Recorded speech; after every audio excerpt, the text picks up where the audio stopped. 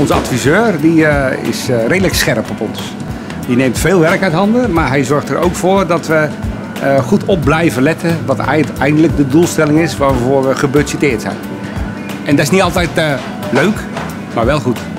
Op loongebied denk ik dat ze zo ongeveer alles wel doen wat we kunnen bedenken. Van de loonstrookjes, de uren, maar ook personele problemen. Duiken met z'n allen in, wordt uitgezocht. Ik kan me niet herinneren dat ik daar een ander voor gebeld heb dan maar zoek. En aangezien degenen die bij ons komen al best lang komen, werkt dat perfect, moet ik zeggen.